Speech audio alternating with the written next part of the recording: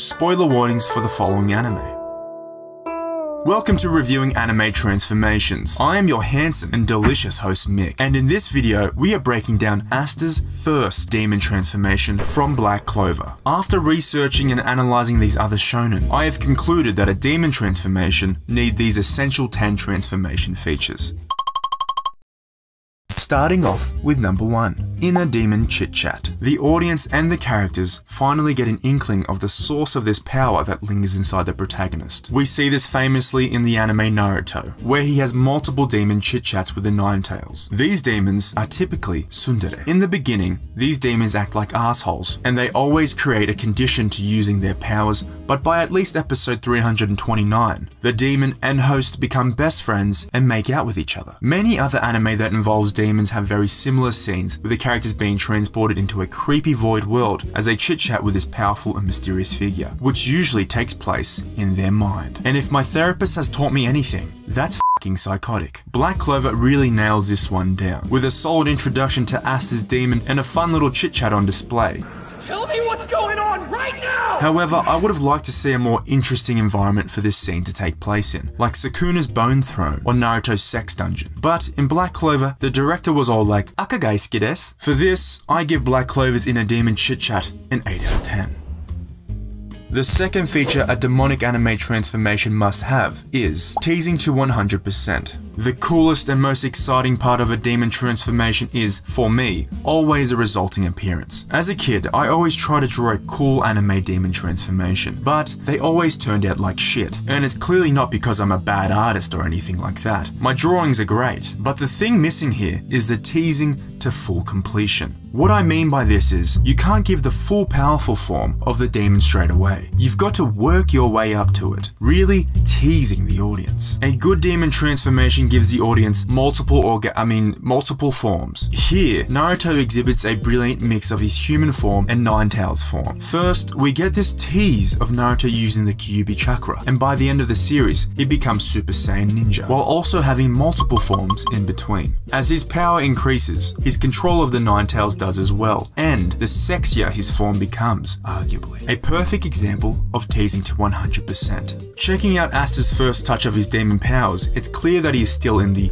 foreplay stage. This design is the perfect tease for a stage 1 demon transformation. He's got some nip showing, but not too much nip, just enough. Yeah. He also looks like a badass while looking like his human self, and you really can't go wrong with wings. But again, this is just a tease, so we only get one wing. And of course, we all know by the end of the series, there's gonna be two wings, that's for sure. A 10 out of 10 on teasing to 100%. Number 3. CAD.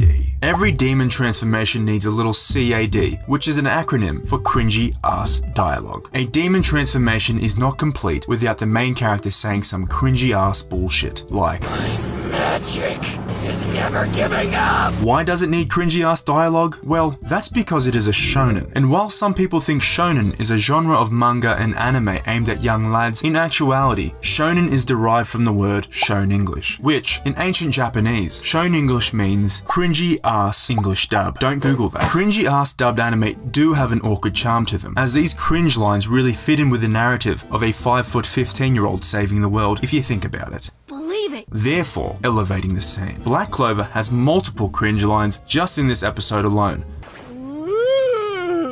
This is out of character. So I give Black Clover an 11 out of 10 for cringy ass dialogue. CAD. Let's make it a thing. Hashtag CAD on every cringe anime moment. Forward it to Twitter. Put it on Twitter. Number 4. Flashbacks. Every rageful demon transformation always comes with some sort of flashback about the main character's deep and untreated trauma. Whether it's Naruto flashbacking about being picked on by bitch-ass ninjas, or Ichigo thinking about how he never got to Smash, it is a must-have feature for a rageful demon transformation. And yes, Black Clover has a trippy kaleidoscope style flashback, which I give an 8 out of 10 for its uniqueness, but not the full 10, because it hurts my eyes a little bit. Number 5. Lightning. This is not specific to demon transformations, but every anime transformation needs lightning. I do not care what you say. Lightning is cool and essential. 10 out of 10 lightning for Black Clover.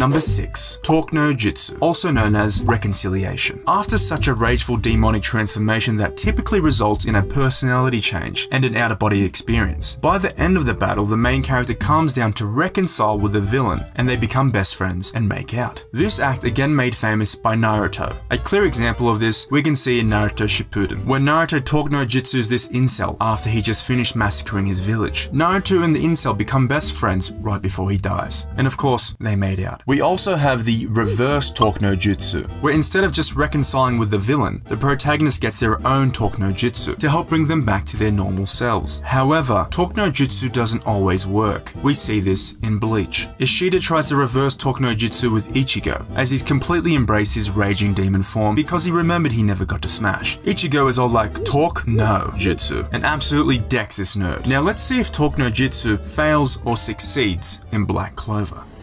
You must be crazy! fell to the ground Someone hard like you is headed straight to the top. That's for sure. Wow, that's a lot of reconciling with a guy that just tried to murder you and your friends. But okay then. So I have to give it a 10 out of 10.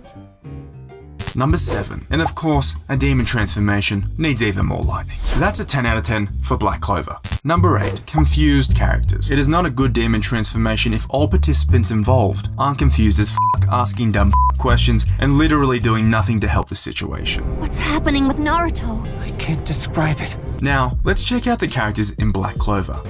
Something isn't right here. Yeah, did Asta growing a wing give it away or was it him brushing off a hole through their heart? Either way, that's a 10 out of 10 and you're stupid. Number 9. Triggered by a hole. Our next demon transformation feature is something easily overlooked, but is essential. This is of course a hole through the main character. A hole for some reason triggers the demonic transformation in many of these characters. Ichigo got a hole in his chest, Naruto got a hole against Sasuke, and then multiple holes when fighting Pain. And check out this massive hole he gets. And of course, Asta gets a stylish hole in himself as well. Too bad Ace didn't have a demon in him. Hashtag bring back Ace. On every Ace video, put a hashtag bring back Ace. That's an 8 out of 10 for Asta's small dark hole. And finally, the most important feature of any transformation is at least one shoe. If you have seen my last video, I make it pretty clear why shonen MC needs at least one shoe when transforming. But to briefly re-explain why a protagonist needs at least one shoe, it's because uh, uh, they need it. Look, Goku got shoe, Luffy got shoe, Gon got I mean, Naruto has a shoe, Urameshi has a shoe, and of course, Asta has at least one shoe. There is a clear pattern here, so 10 out of 10 for at least one shoe. Very sexy. To summarize my thoughts on Black Clover's demon transformation, I have to say it's a pretty damn good attempt that is hindered by only a few odd choices. These are the episodes that have iconic moments, so they must have solid animation. It's rare to see good animation and bad animation at the same time. Maybe the only other case being Naruto vs. Pain, which had more to do with the art style being divisive amongst fans. During these intense scenes of a shonen transformation, the transformation is typically forced by a powerful and seemingly impossible villain to surpass. Examples Goku was never going to beat Frieza without turning Super Saiyan, and Gon was never going to defeat the rabbit without turning into a bodybuilder. And surely Asta had to transform to defeat this guy? A million lasers! This guy sucks. Who is this guy? Ladros. Oh, thanks. Asta's transformation would have been a lot cooler if faced off with a more threatening and likable antagonist, not fing Ladros. I guess what I'm trying to say is that Black Clover drops the ball on the hidden 11th feature, the impossible villain, resulting in a 5 out of 10. But all in all, a pretty solid demon transformation. Now, all we have to do is add up the scores. There's a 10 plus 11 and a, and a 5, and you carry the 5. It's about a 7 out of 10 for Black Clover. Very good score, good stuff. So you had this big dramatic transformation! Thank you for watching. If you like this video and want more videos like it, please consider liking and subscribing. And please don't forget, 大輔だよ。